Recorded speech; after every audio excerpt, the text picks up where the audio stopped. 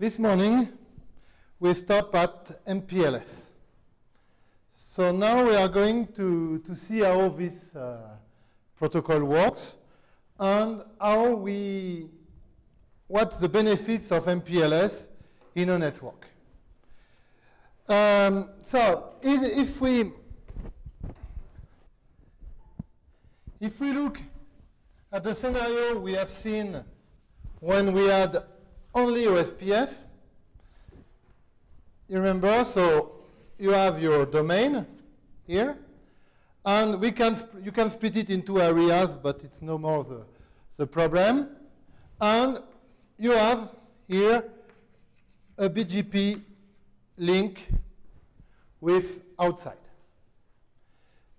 As you know, now we have about 30, uh, 350,000 routes in the current internet. It means that when you are doing BGP with a provider, this provider may inject you these 300, 350,000 routes on all the routers will have to know, to learn about these prefixes. So that's a lot of memory in this router. That's a lot of traffic also for management. So it may cause problem when you want to, to manage your router because here you take a lot of resource for that management. It doesn't mean that it takes resource for forwarding. We can do forwarding at the line speed with this number of entries. So a packet arrives, you look at the destination address, you find the best prefix match for the existing, existing interface, and you can do it with 350,000 uh, 350, routes without any problem. But it means that you create a lot of traffic to manage these routes. So what we are going to start now is to try to isolate the core network from the outside. So this way, if we are able to isolate the core network from outside, then we will not need all these routes. So it's not, it's not something new. You remember, during the first class, we saw how we can put bridging inside a metropolitan area network and how we can reduce, by encapsulating a frame into a frame, how we can reduce the number of entry in the core bridges. So this is the same technique we are going to do in, uh, with uh, MPLS, but in fact it will not be encapsulation, but adding a tag, and we will do switching on that tag. So this is the first advantage of MPLS, isolate the core from the outside. The second advantage is that here we will continue to have an IGP routing protocol that will be used in your area. So it can be OSPF, it can be IS to IS, it's your choice. But you know that IGP takes the decision for you. So in fact, it will select a shortest path, and your packet will follow this way. The problem is that you don't control the path taken by your packet because it's your IGP that does the work for you. So with MPLS, and, and you remember what we have said uh, on Friday, is that if you have your shortest path tree, and you know that you will send packet by this and this way, in fact, is not the real route taken by the packets. Because you have a local decision, but then you send to a next hop, and this next hop has also a local decision, decision. And they are not synchronized. So what you believe is, is to be the path is in fact just the shortest, shortest path, and the real path taken by packet can be different. So you don't have a good vision of the forwarding using an IGP. So with MPLS, we can use it because it's very convenient. You do nothing and the system decides for you. But you can also force some routes inside your network. So you may say, I want my packet to take that route because I know that I have a lot of bandwidth on this route. And for that special customer, I will allocate some resources and this special customer will have some dedicated resources and a guarantee of bandwidth for all its traffic. So it things you can do with MPLS and you cannot do with uh, routing, standard routing protocol. So we are going to, to see that kind of things. And in my class here, I will just focus on the interconnection between IGP and MPLS. And when you will go, you will go to REN, you will see other way to manage MPLS, especially how you can do traffic engineering using uh, this protocol. So here, it resumes what I said. So you are a provider, and you have some routers. So some router that will be at the edge of your network. This router will be used either to connect your customer, so companies or other um, customer, to your network, and you, some other edge will be used to talk with other providers. So this, the green one, it is guaranteed that you will do BGP because you, you have to exchange your uh, knowledge of your network or maybe of the rest of the internet with this provider, and you will do it using BGP. And with your customer, it's not so mandatory, but usually you do also BGP with your uh, customer to know the route that are inside the network. So this will lead to two kind of network, or two kind of routers. One will be the provider edge. It means that it's at the edge of the provider network. And you will have provider router. It means that it's a core network. And here, this router has to go as fast as possible because here you will have high-speed links that will um, uh, compose your network. So here performances are, are very important. So we will call them P network. So let's take now an example of what we can do if we don't have MPLS. So here, so it's an old slide because I put only 300,000 routes, and now it's 350,000 routes. But here you receive 300,000. So as I say, the first way is to use OSPF or ISIS as we saw it, and inject an external route database, all these routes. And all these routers, this P router, will have to know all these prefixes. And it's stupid. Because, for, for example, if I look at router R8, I may have 300,000 routes, but I have only four decisions. Because I have only four interfaces, so for each route, I will say I, I live with interface 1, interface 2, interface 3, or interface 4. So I have very few choice, but I learn all the complexity of the world, and my local decision is just to send to R7, R1, R9, or R11. So uh, we would like to, to simplify this.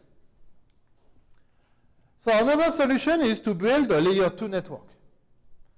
So this layer 2 network can be an, a MAC uh, Ethernet network, or can be an ATM network, where I will create path, switched path, to go from all the other routers.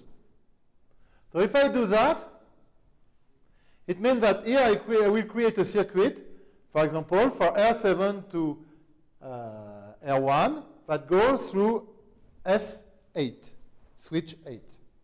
So it means that here the number of states in these switches are very limited. We can imagine that since we have uh, six border routers, uh, seven border routers, and we, so we have to go to six over border routers. So it means that I will have, for one routers, I will have six paths.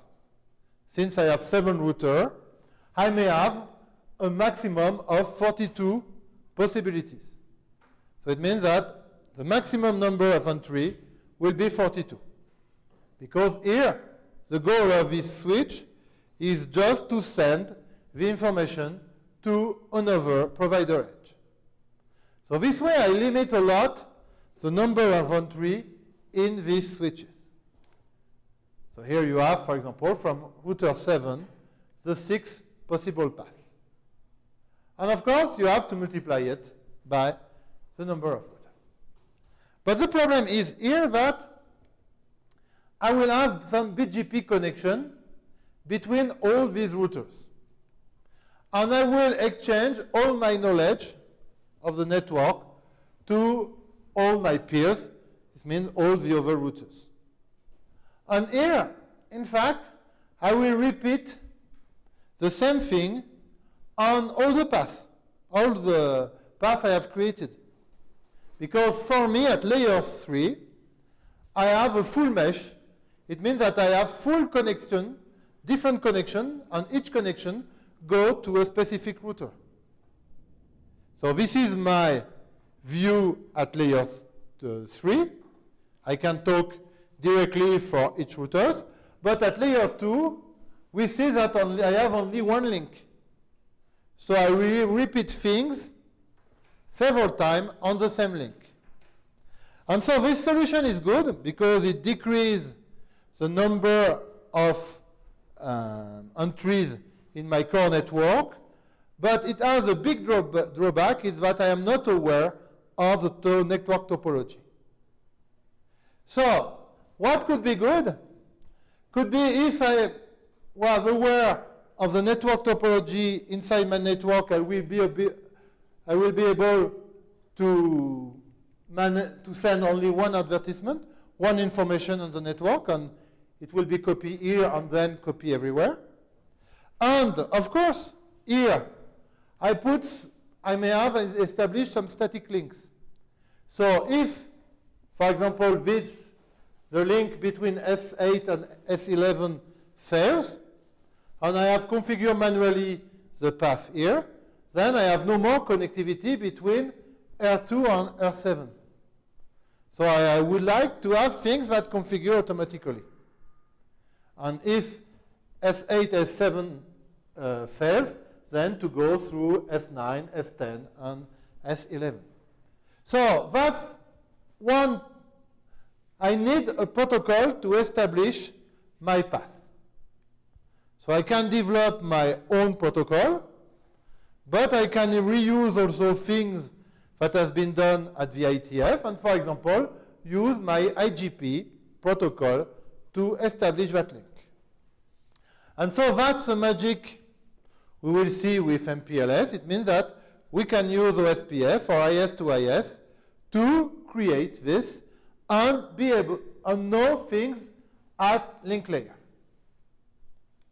So we are going to, to use MPLS to do that. I will explain you after in a slide how it is work. But the advantage of MPLS is that we are going to learn new acronyms. So we didn't have a lot of acronyms until now in the class. So I will just give you some other names. So in fact, we will not call a router a router because it's no more a router. It's more than a router. In fact, if you remember what we say at the beginning of uh, routing class, we say that a router is divided in two parts. You have the supervision part, or what I call also uh, the user part, where you have a routing protocol that runs. And it talks, if I look at the Linux vision, to a kernel part where you have the fib. So the fib analyze a packet. So you receive, for example, an IPv4 packet. You look at the header, and you find the exiting interface. And you send the packet. So this is a router. Now, what I want to do with MPLS is to do switching. So if I do switching, I am at layer 2. So I will add something here. And this thing will do forwarding or switching at layer 2. I will not do use fib. But I will continue to use my IGP to control the network. So in fact, I will be a router because I'm running a routing protocol, but I will be a switch because I am no more forwarding frames at layer 3, but I am switching, I'm no more, sorry, forwarding packets at layer, at layer 3, but I am switching frames at layer 2. So that's why we will call this uh, LSR for label switch router. So we can use that name, or I can also say an MPLS router, if you prefer. So I will use both of them. So what does it mean? It means we have already learned two names. Here, for the forwarding, we have a forwarding information base. And for the routing, we have a routing information base. So of course, when we create this kind of thing, we are going to invent a new database. And this database has two names. One I never remember is the NHLFE, next hop label forwarding element, or I will call also a lib label information base. So here it will be something that allows me when I receive a label on a certain interface to find the exiting interface on the label I will use on that exiting interface. So this, we will see this thing is very simple to understand and there is not a lot of problem to, to see how the network works using these, these things. But of course, one question, one question remains is how to create this lib. And then we will have different techniques to uh, create this lib. One of them will be to use a protocol in conjunction with the IGP, which is called LDP, Label Distribution Protocol. So it will run also in the application state uh, space LDP. So LDP will be used to make things automatic. So the routing decision uh, chosen by my IGP will be copied into the lib to take the path chose, chosen by the IGP.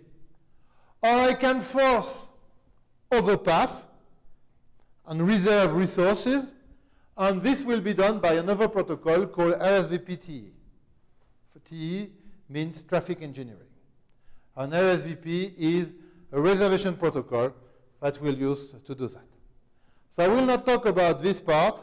I will just focus on the first part on LDP. The rest will be seen in REN. So, to have a better vision than the thing I have drawn in uh, the whiteboard, the blackboard. So here we are going to understand why we call MPLS multi-protocol label switching, but here we are focusing on multi-protocol. So multi-protocol means that I can have multi-protocol at layer 2. So maybe I can have here a point-to-point -point link using PPP, point-to-point -point protocol, and here an ATM interface, so using another kind of structure. And I can unify the vision between point-to-point -point on ATM. So that's why I'm multi-protocol here. And I am also multi-protocol because when I am switching a packet at the MPLS layer, I don't go at layer 3. So I never look at the packet format. So if I have a label, I can carry anything on it. The system will never analyze what we have. So we are going to, to see that. So just to remember you, remember you the adjustment. So here I have my IGP that discover the network topology and I talk with LDP to create labels. So I put this label into my lib, our network uh, next hop uh, label forwarding element. And when I receive, or as a PTE, as I said. So when I receive a packet, or a frame, it depends. Here it's very difficult to know if it's a packet or a frame. So it arrives on the interface, go at the MPLS layer, we look at the lib, we find the exit interface, and we send the packet here. And my IGP and my LDP or RSVPTE will use IP to communicate with the other element on my network. So what does it mean? It means here that I have a very strict separation between the control plane and the switching plane. Because here, my packets are going through MPLS, but I don't care about IP to do this forwarding. So that's why I'm also multi-protocol, because I can carry here a protocol that is totally different than the IP protocol I am using to exchange information internally between my neighbors. So that's why also I am multi-protocol, either at layer 2 because I can have different protocol, or at layer 3 because on a circuit I can carry anything. And it's a property we will use a lot when we will talk about uh, transition between IPv4 and IPv6, for example, because this way you can have elements that talk only IPv4, and you are able to switch IPv6 packets. So that's something very efficient because I don't have to change all my elements in my routers. My P uh, routers can remain IPv4 only, but I am able to carry on them some IPv6 traffic. So it's a way for provider to deploy a new infrastructure without changing everything on the network. So here is the definition of multi-protocol. So we have seen for multi-protocol MP from MPLS. So now on, we are going to see the L and the S. But just before, we, what we can do with MPLS, in fact, we don't need label. label. I can do it with tunnels. For example, I have my network here with P provider edge here on my P element. And one way to make things transparent for P element is, for example, I have a packet that arrives here for destination alpha, and I don't want to populate all my routers here, my P routers, with an entry to alpha, is that I create a tunnel, and I encapsulate my IP packet on that tunnel. So what will be the advantage is that here, the first packet will contain source address and destination address of the internal interface of my PI, P. So here, the P router will know only internal routes of my network and will never know about what is outside. So this solution is totally equivalent to what I am doing with MPLS. So why do we need to invent MPLS since we can do it by tunnels?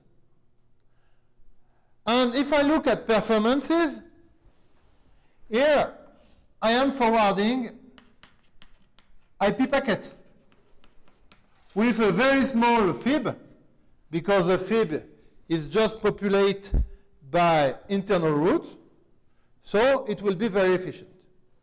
So why do we prefer to invent a new protocol instead of using tunnels? One reason is that if forwarding is very efficient, the creation of the tunnel, the, encapsulation, the IP encapsulation inside an IP packet is very complex to do. So normally, it is done by your supervision card in your router. So it means that it's done by software, and you have all the limitations of this kind of things.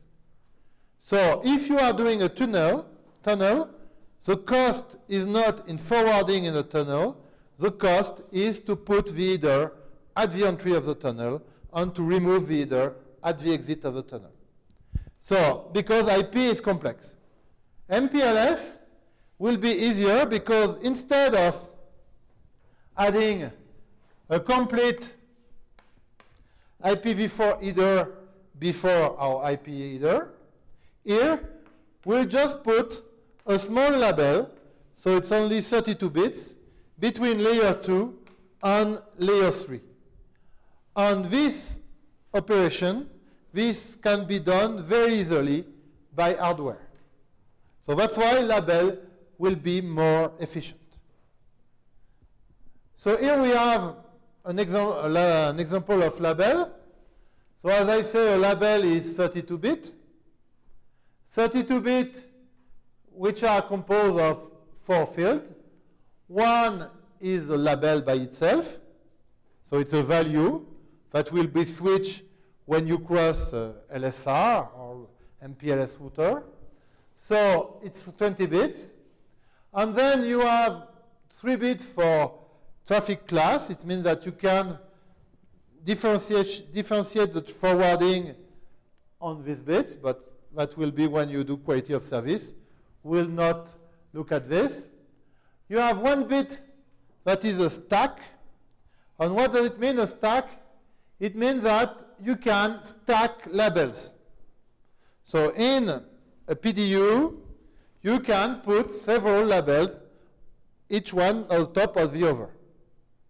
But, usually, but only one will be active, is the first one. So we'll see that this stacking is very important to manage well a network, and we will see in the future different examples why it's useful to have this kind of uh, and then we have a TTL. TTL means for time to live. And it's a copy of what we have at layer 3. Because since, if we look back to, to that slide, we are never going up to layer 3. So each time we forward, uh, we switch uh, MPLS frame, then we don't decrement layer 3 TTL. And as I said just before, MPLS just obey to IGP. So the route taken by the packet at the MPLS level will be the same as the route taken by MPLS uh, by, uh, by MPLS. So if my IGP is not well configured, my IGP will create loops. And if I don't have the same mechanism at layer 2 than at layer 3, I have no way to stop the impact of the loop. So that's why when we create the label, we take the layer 3 TTL, and each time we cross a label switch router, this label, this TTL will be decreased by 1 until it reaches 0. So when you put a, frame a switch uh, a label here between layer 2 and layer 3. Then you have to indicate at layer 2 that we are, you are carrying MPLS. So one solution, for example, is in Ethernet is to use the protocol uh, that say that the upper layer is MPLS. One problem we may have here is that, you see, normally in Ethernet, when I put 800 in the type of Ethernet, I know that it's IPv4. Or if I have 86DD, I know that it's IPv6.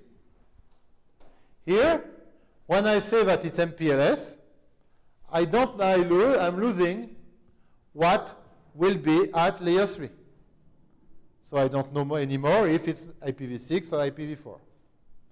So that's why we may stack two labels, because the first label will be used to forward the packet on the link, and sometimes the second label will be used to indicate what is the protocol used at layer 3. Sometimes it is done on the same label, so we see that some values say the upper layer is IPv4 or the upper layer is IPv6, but not on all uh, situations. So we will see that uh, with example.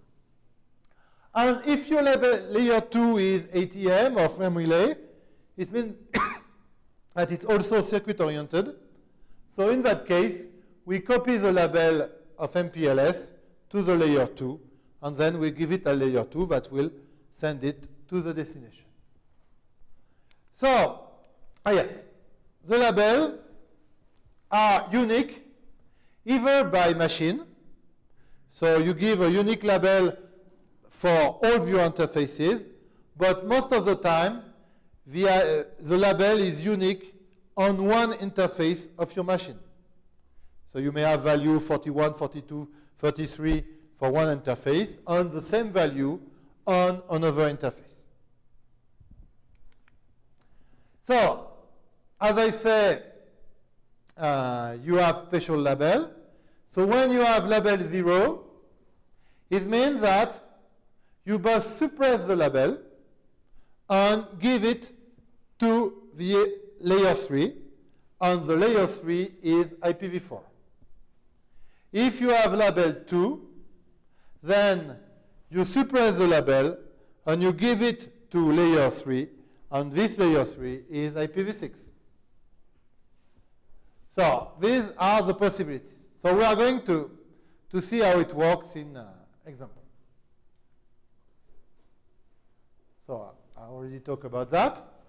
So now, let's have an example. So we have seen multi-protocol, we have seen label, so now we are going to see switching. So when I'm doing switching, it's like ATM. It means that we are going to receive a packet or a frame with a label. The label is unique on the link, so we cannot copy it without any ambiguity on another link. So we are going to, to switch to change the value. That's why we call it label switching. So what we need is, uh, of course, a list of labels, but we have also to give to each interface a name and here I will use a small letter to, uh, to do that. So, here, this router, R7, wants to send a packet, alpha, to R4.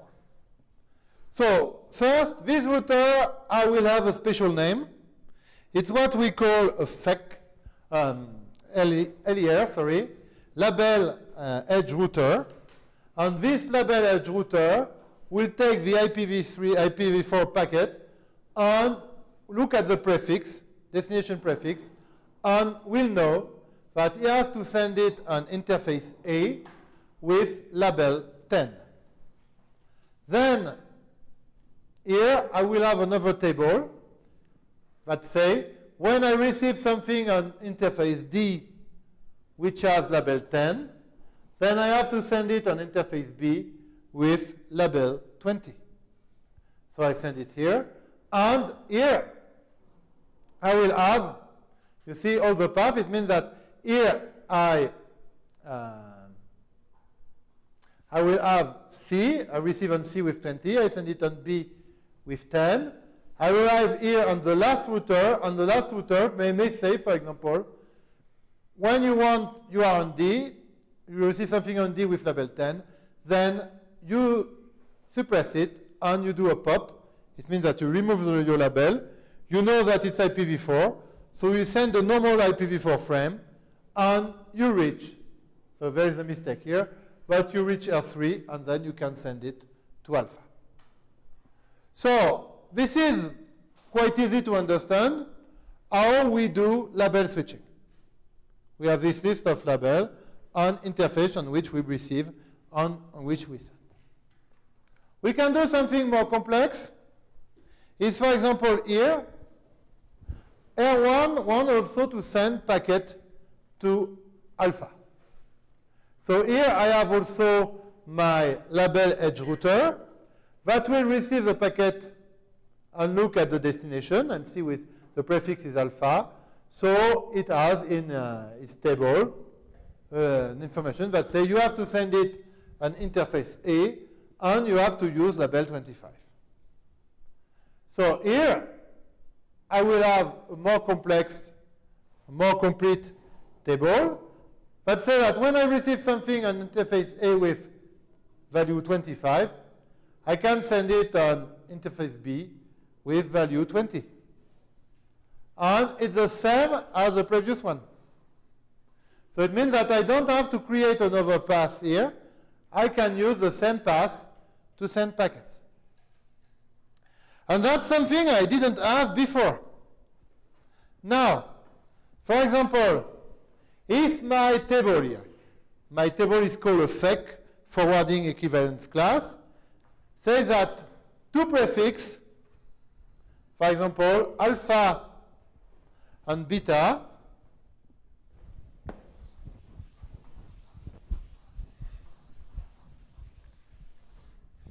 So alpha is sent to interface A with value 10, and beta is sent to interface A with value 10.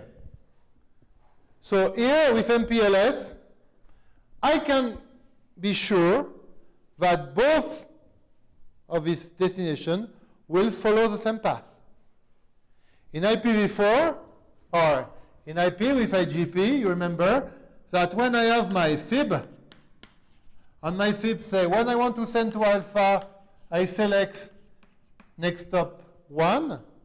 And when I want to send to beta, I have next hop 1.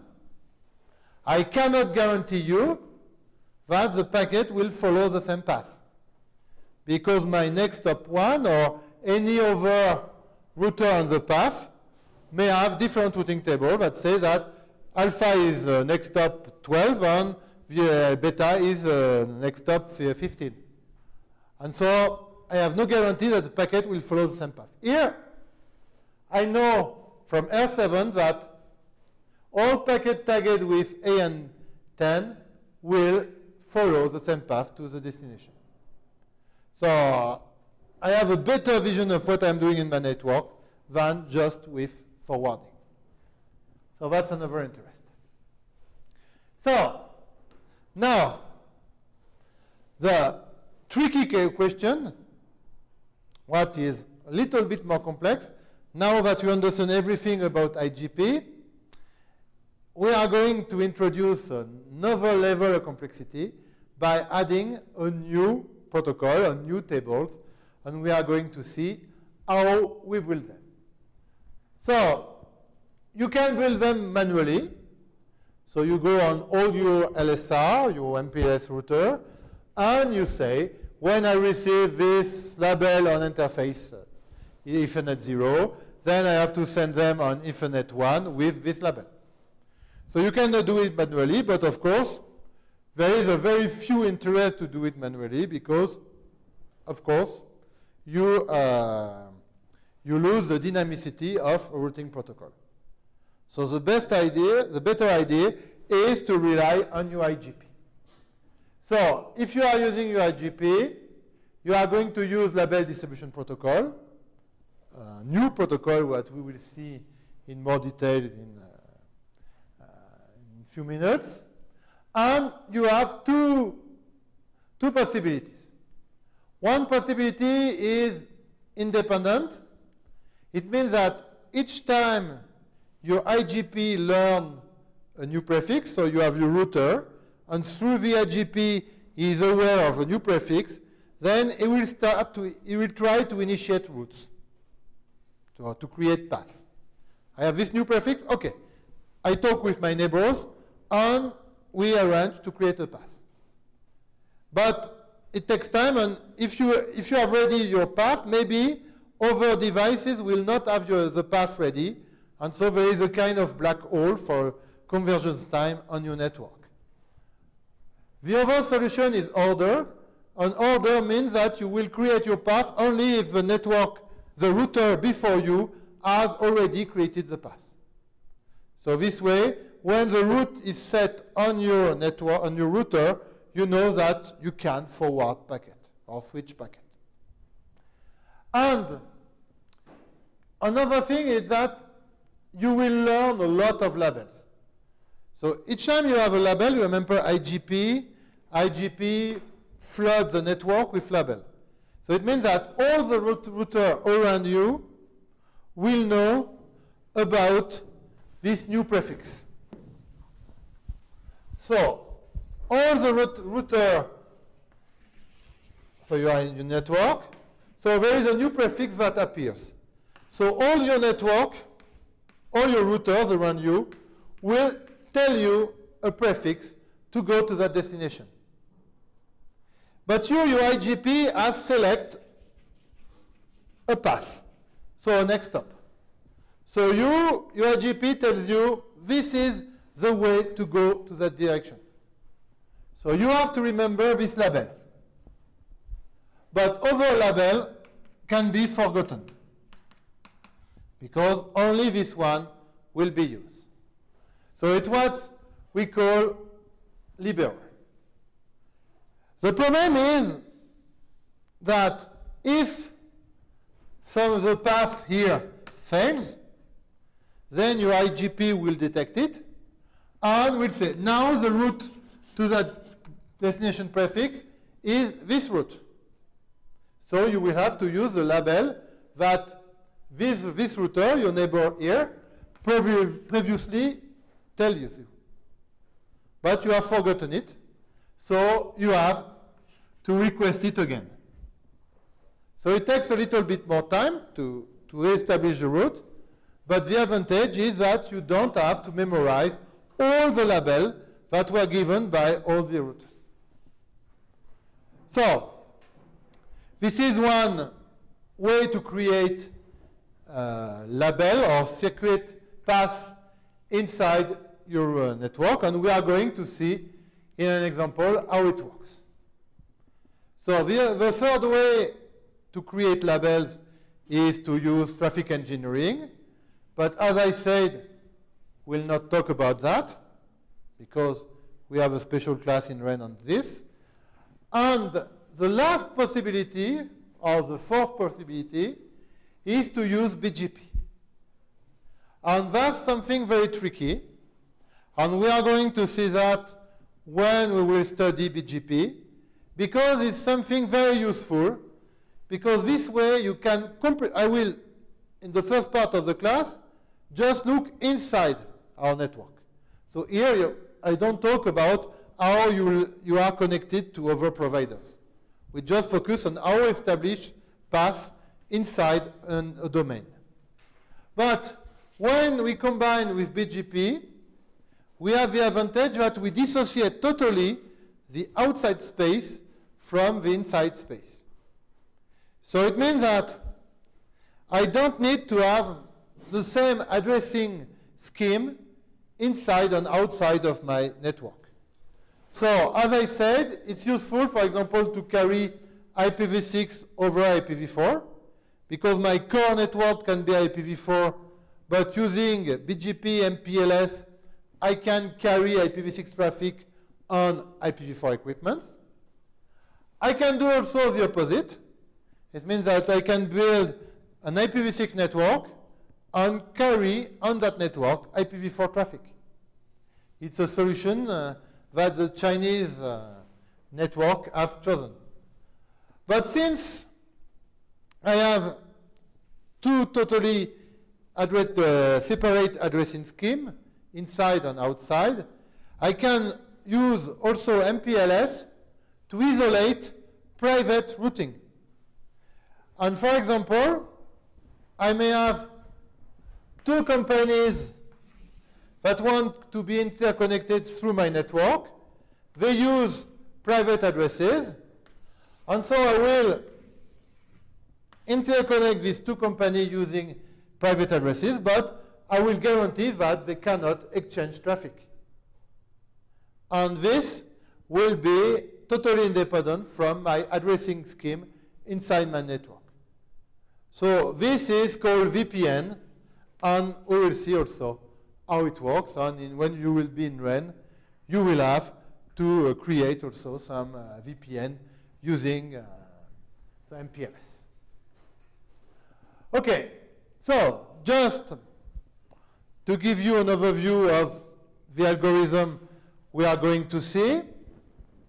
So we continue on our network to be uh, to use the same protocol, same IGP protocol. So we continue to have IGP, or IS-IS on all the routers, LSR, inside your domain. So this, is, this doesn't change. So as I said, your IGP will collect, will flood the information, and you will learn about prefixes, all the prefixes inside your network. So now what you do, when you have learned the prefix, you create a label for that prefix on each interface. And you send, using LDP, the label you have chosen for this interface and this prefix to your neighbor you can reach on that interface. Then you look at the path selected by your IGP, uh, IGP to go to that direction. And this way, you know that when you receive a prefix with this label from one neighbor, you know that this label was linked to a prefix. You look at, you have looked before to your and URGP and you know where to send this prefix to the next neighbor. You know the, prefix, the label given by the next neighbor, and so you create your switching matrix using the label you have given to the previous one and the label that has been given by the next one. Is it clear? No? Okay. So let's have an example. It will be, uh, I hope, more easy to understand. So we are going to focus on R11. So this router is running BGP, uh, IGP like OSPF or IS-IS. So here you have, just before in the example, I put some prefixes here. So it's very complex because you have a lot of Greek letter, I don't know the name, but I will try to, to make it run. So here, first thing, so you run your SPF and you have flooding and you learn about all the prefixes. So here I can create a database. So what I didn't say before is that LSA means for link state announcement. So that's the OSPF terminology to, sell the entry in the database. So here I know about all these prefixes, beta, beta gamma, etc., lambda, and mu. So I know all the prefixes on my network. So we are going to, to focus, if my memory is good, on prefix iota. But here, since I know the, all the prefixes, I know also all the local vision of all the routers, so I am able to build my shortest path tree to all these prefixes. So here I have created my shortest path tree to all these prefixes. So next thing, for example, for prefix iota, but you can repeat it for all the other prefixes. But here we are going just to focus on one prefix. So I am going to announce to all my neighbors for IOTA, you can send, if you want to send me traffic to IOTA, please use label 100. So I tell it to uh, R8, I tell it to R2, and I tell it to R10. So all my neighbors. Here, for simplicity, I select the same label value, but you can have other values. Okay? It just, it's a local meaning on your interface. So now, what I know. So here I receive also, since it's a distributed process, my IGP has made learn R8, R2, and R10 about prefix iota.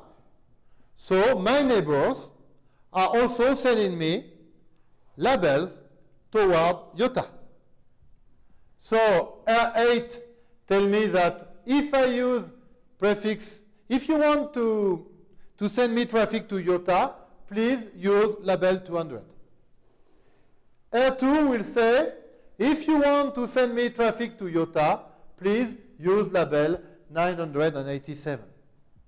And R10 will say, if you want to send me traffic to iota, please send me traffic using labels 234. Here it's a totally stupid process.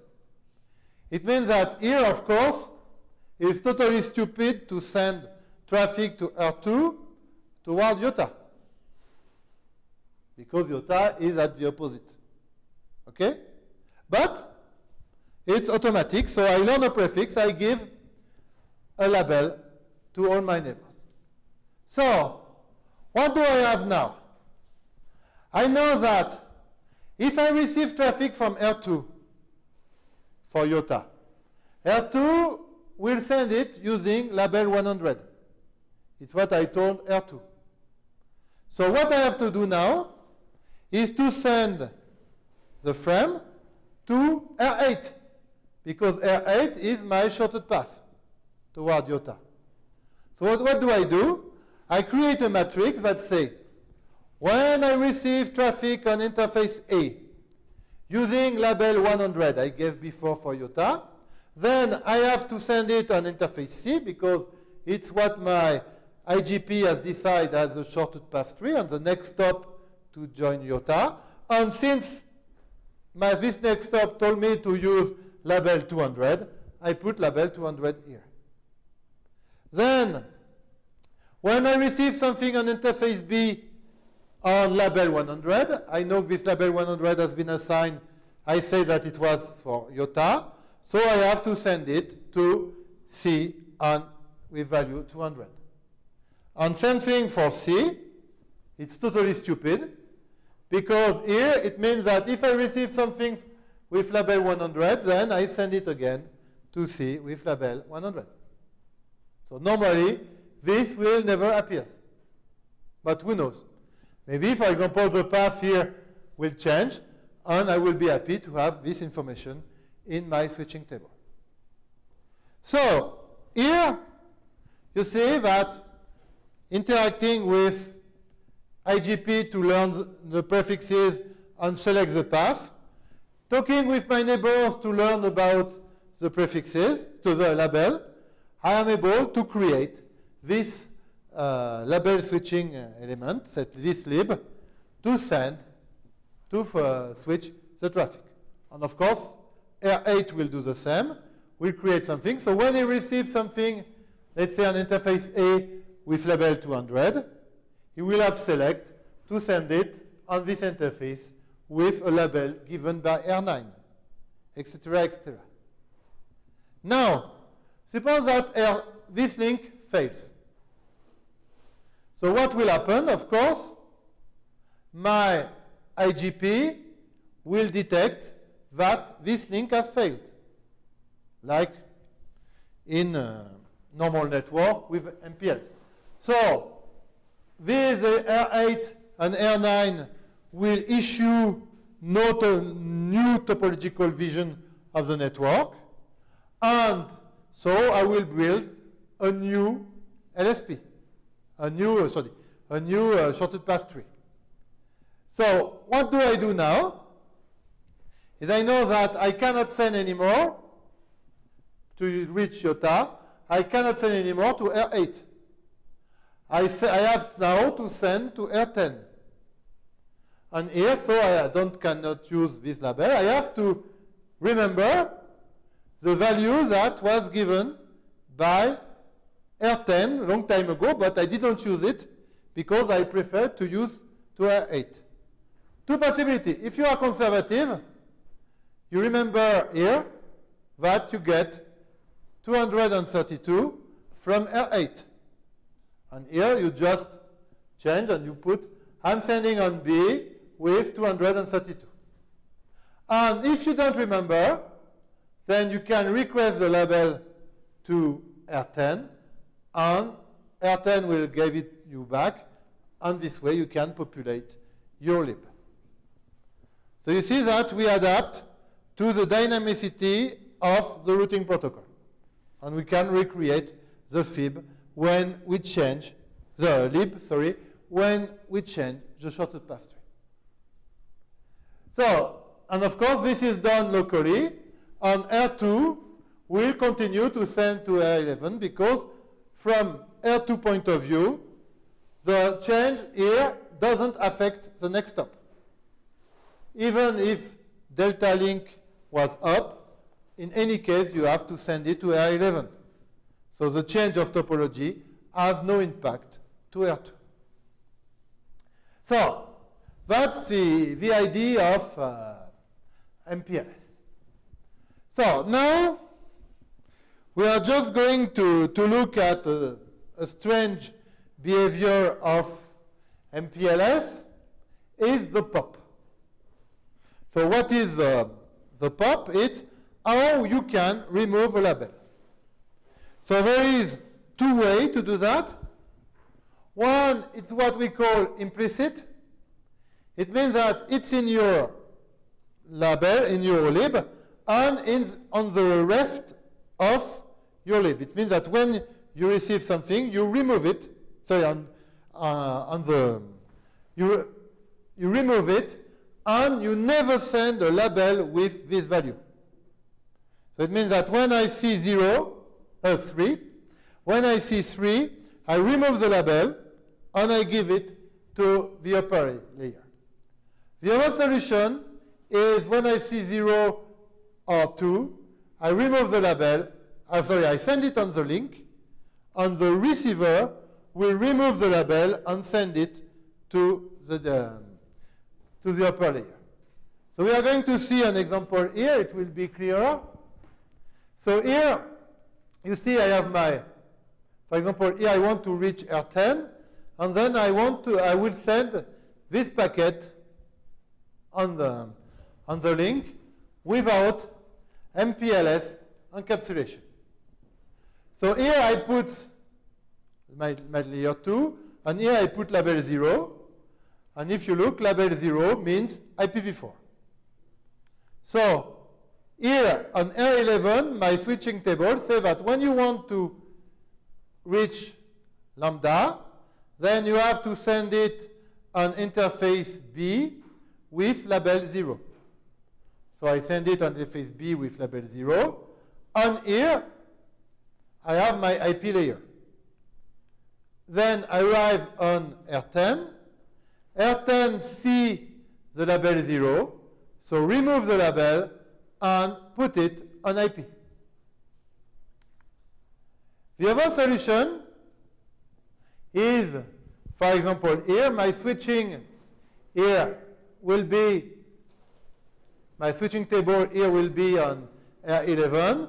When I receive something for lambda, so with a label I gave before. Then I have, I have to send it on B and with 3. 3 is implicit. It means that I will remove my MPLS label and I will send it directly in IPv4 to that link. What is the advantage of doing that?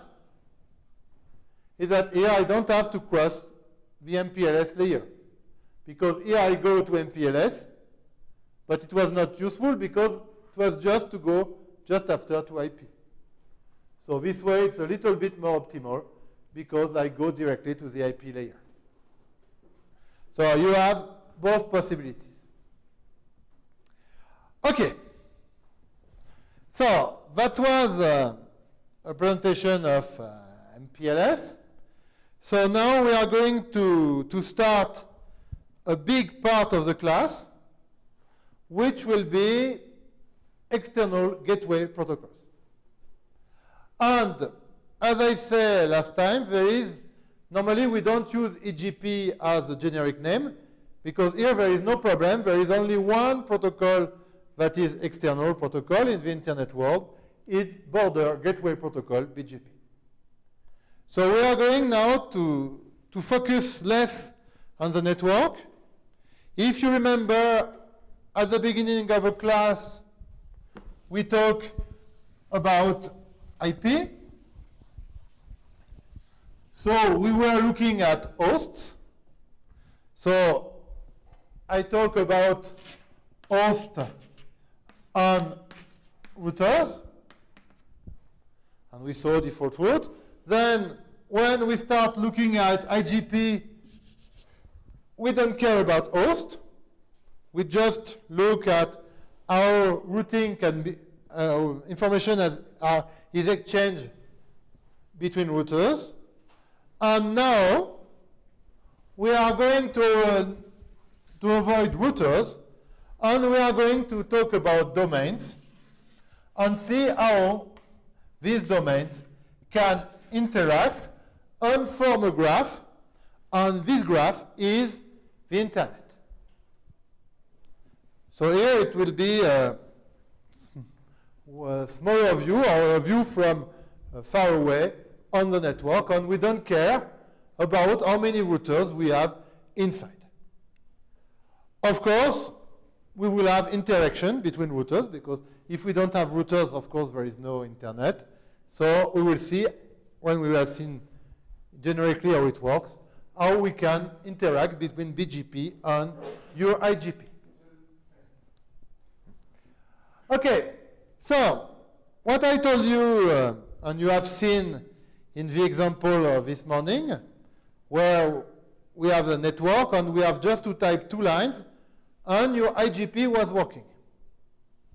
So an IGP or SPF or IS to IS discover automatically in the neighbors.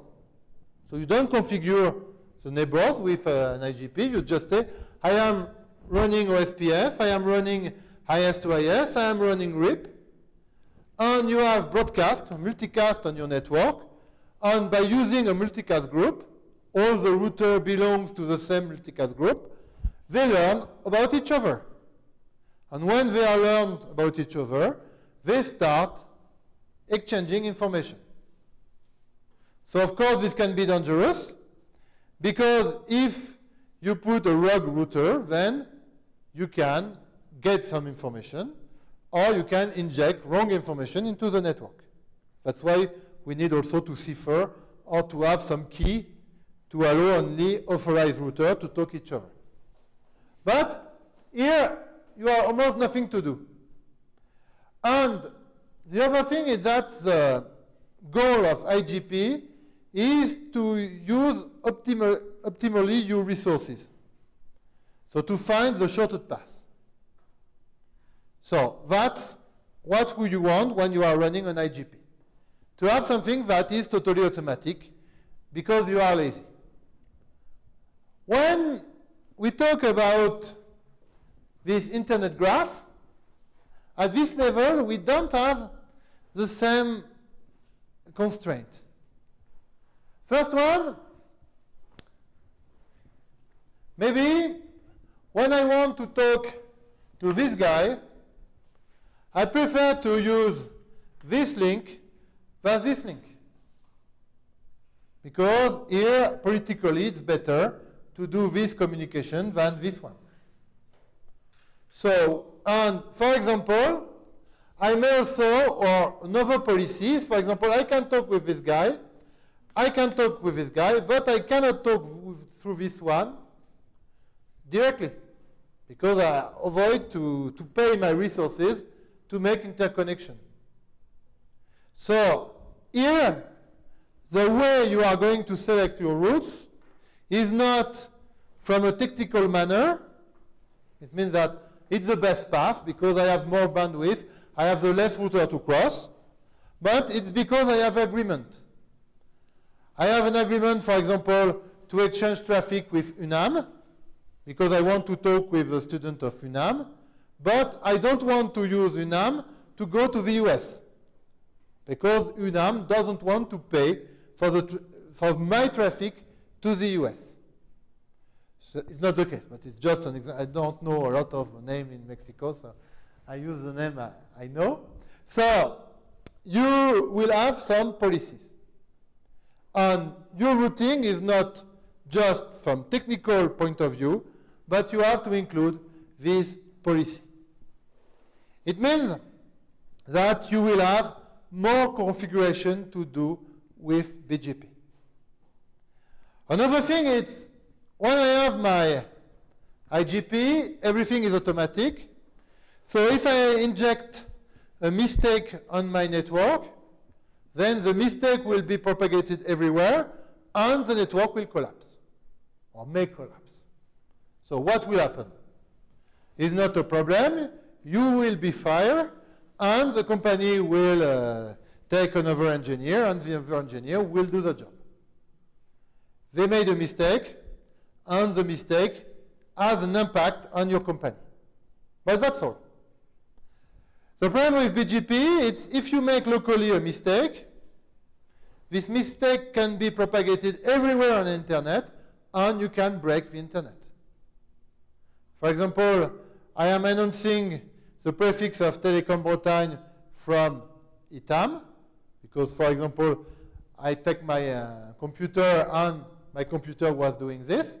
It was working well at Telecom Bretagne. I come here and I continue to do it and I may break the connectivity of Telecom Bretagne. But I also may attract some traffic that are not from Telecom Bretagne. So that could be a problem. So what we are going to do with uh, BGP is to be totally paranoid. And I will check with whom I'm talking. So that's totally different with IGP. IGP, you are on the same multicast group, so you talk each other. Here, I will have to say, I want to talk with this router. And you will have to say to the other router, I won't accept traffic from this router. So, to work, both of them will have to be configured to talk each other. So you cannot receive BGP connection or BGP peering from an equipment you don't know. So that's different. So you have to configure with the router with, with uh, which you will talk. Then you have some prefixes. So your IGP will collect all these prefixes.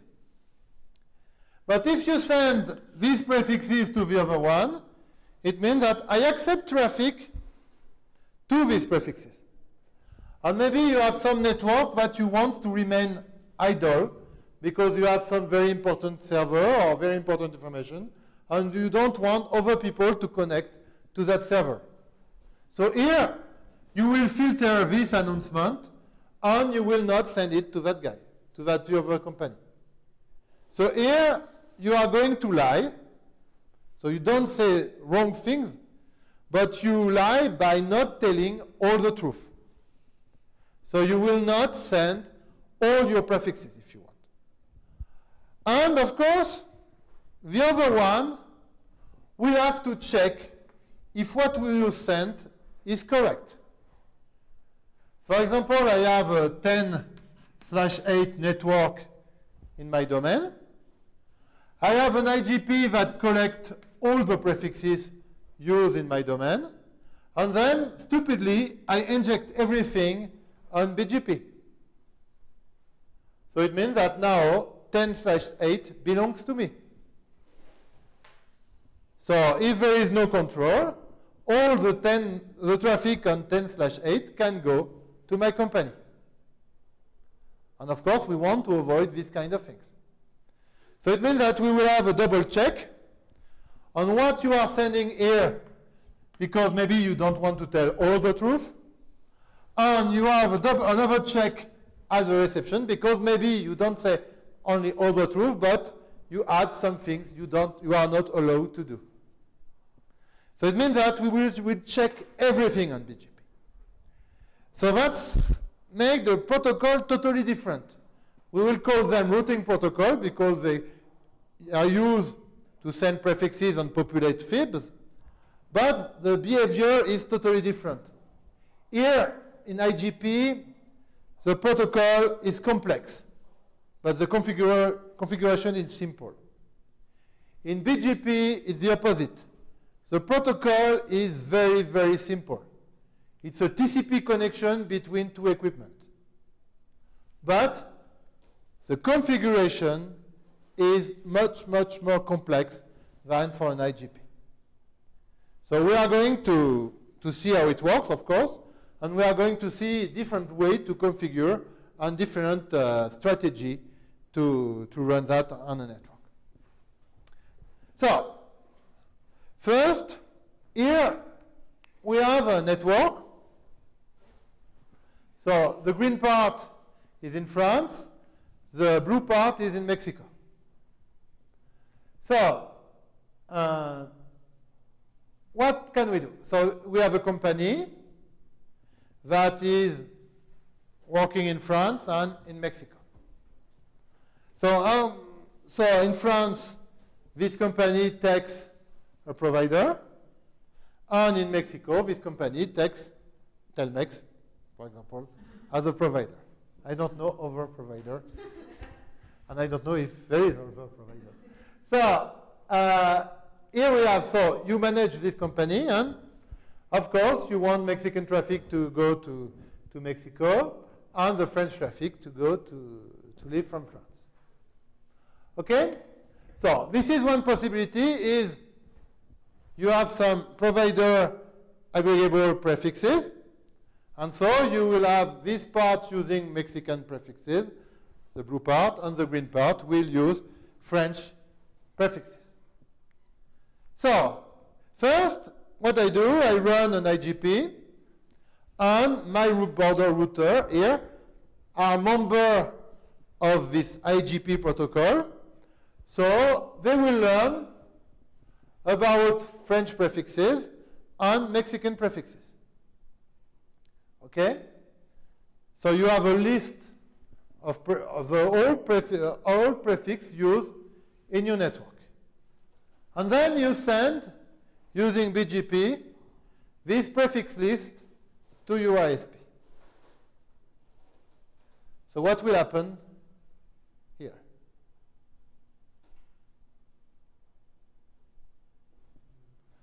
what Telmex will say. So in that case,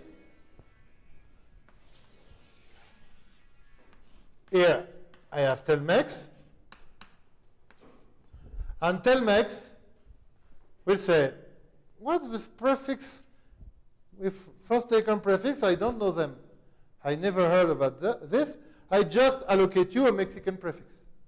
So here you will have filtering and only Mexican prefix will be authorized. So your provider here will refuse French prefix. On the other side, France Telecom will say, okay, I agree to announce outside French prefixes, but Mexican prefixes, I never heard about this, so I will not use them. So what does it mean? It means that here, when I will have traffic, for example, to a Mexican site that want to join a resource in Mexico, we'll use this ISP. Uh, of course, here if I is, everything is accepted, sorry. Uh, so, uh, let's, we go on the other example, and I will go back to this one. So, here what happens? a Mexican site here want to join a server of my company in Mexico. So here, of course, I will reach it that way. Now, if I want to reach a French server, so there I have no announcement from the Mexican part, the only announcement comes from the French part, so it will go that way. And same thing for a French uh, host that want to connect to the French server, it will go directly here.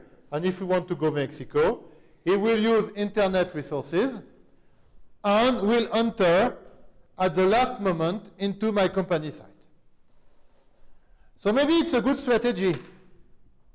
Because if you do that, you don't use the internal resources of your company.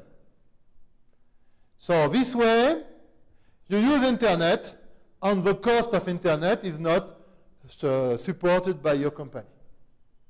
So that's a possibility. But suppose now you're Amazon. So here you have Amazon or Google, amazon.mx, and here amazon.fr. And I am in France and I would like to buy some Mexican books. So I have two solutions. The first one is to rely on internet, but maybe it's not a good solution because you know internet is not so stable. You don't have a lot of good quality of service. So my idea will be to attract the customer as fast as possible into my network. So the Mexican customer that want to buy French books will go in Amazon network and will go to France using Amazon network. And vice versa, the French that want to buy Mexican books stay, goes into the Amazon network as fast as possible and then I lead it to my Mexican server. Is it possible to do that with this scenario? So, suppose that now I take some agreement with my ISP and I say, okay, I give you some money because I know for you it's a lot of work to do that. So here is plenty of money and you announce all my prefixes. So I announce my French, and my Mexican prefixes here. And here you announce my French and my Mexican prefixes. So this way, I should have this. Okay? Is it true? We'll have, we'll have this kind of thing. And the answer is no. Here the situation will be worse than that. Because if I am using provider aggregable prefixes. I will ask my Mexican provider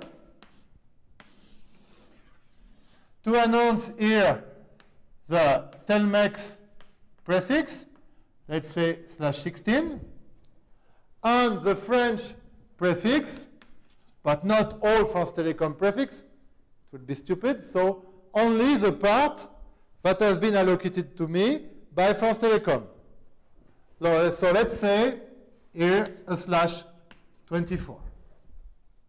And on the opposite side, I will have France Telecom here that will announce its prefix aggregated. So let's say a slash 16. And the part only allocated by me by for, by, for me by Telmex, a slash 24. Now, a Mexican user wants to buy a Mexican book. Where does it go? You are in Mexico and you want to go to that Mexican server. Where do you go?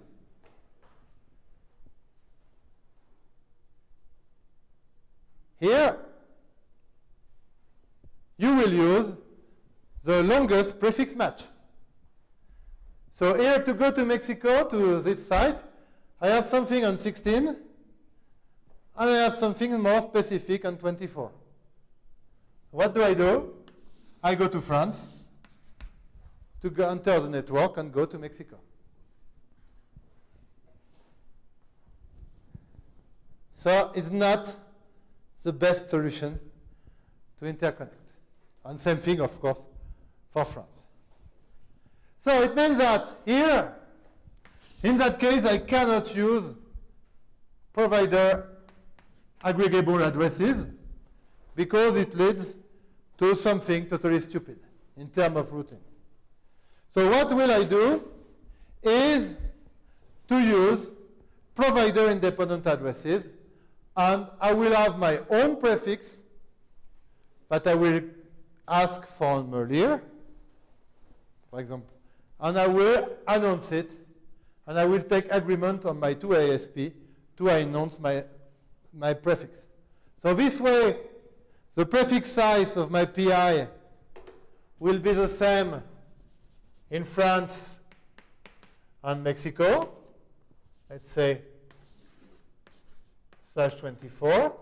And this way, if I am in Mexico, of course, I will receive announcement from France, but they are not that good. I receive better announcement from Mexican part, so I will go here. And if I want to go to a French server, it will depend. We are going to see how it works. But normally, if I announce everything, then I will use the resource of my company to go to France. It depends how I announce things outside. So now I can manage how I want things to be done. The other thing I just, so I told you that BGP will block prefixes if you don't take agreement with your provider. But also in forwarding, you remember that if you don't use the appropriate, so it's not only at the routing level, but at the forwarding level, we'll check also the correctness of the address. And if, it, if his address is not correct, then the ISP will block the forwarding to avoid address spoofing and all the things we, we saw about the, this kind of attacks. So here, now, when you are multi-homed, so you have two solutions when you are multi-home. Either you do private addressing and you put NAT on uh, each side, and then when you leave, you translate your address to the address of your provider, and this way there is no problem. So this is another solution, but this solution works well only if you don't have server inside. If you have server inside, then you are obliged to use PI addresses with the impact on the size of core routing table. So now, I have PI addresses and I am, uh, I can manage how I want. So for example, one solution here is to have my prefix list. So I run my IGP, I collect all my prefix, I do aggregation, for example, and then announce my prefix, my aggregated prefix here to my ISP. And my ISP will propagate this information worldwide. So it means that when C wants to join A, he will go through ISP1 on my border router 1 and will join A. If C wants to join B, which will be the path? What will be the path? So here, since ISP just send left prefixes, he will not give the prefix from B. So the only one that announces the prefix from B is ISP2. So it means that in that case, the traffic to B will go uh, from C to B will go through ISP2. Okay? So this is one strategy. This strategy is outside traffic, don't use my internal resources. So they, they stay as long as possible on the internet, and at the last point, they enter into my network to reach the element. So this is one strategy. The other strategy, for example, is to announce everything as we saw. Now, if we look at the other possibility here, I can announce a default route. So internally, using my IGP, all my border routers will announce a default route.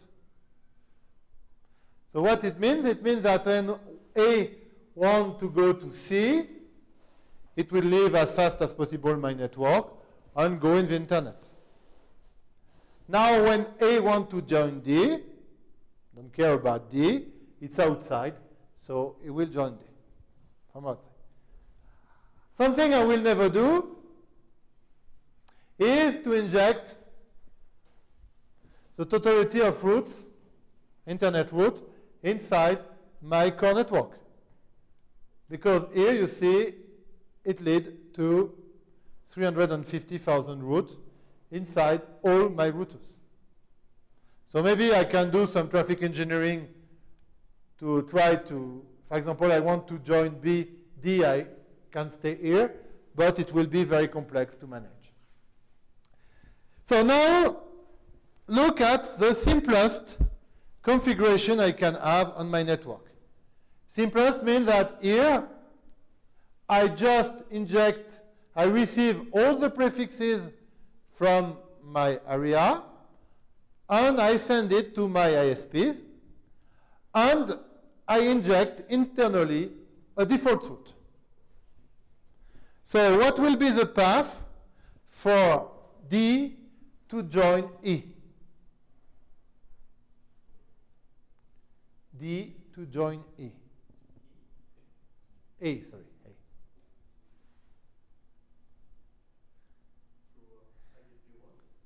D to join A, no. Because here I'm, I'm sending all the prefixes. So D will go to ISP2, BR2, and internally to A. And when A answers, through BR1, and we'll go here. So what does it mean? It means that here I have created an asymmetric route. Okay?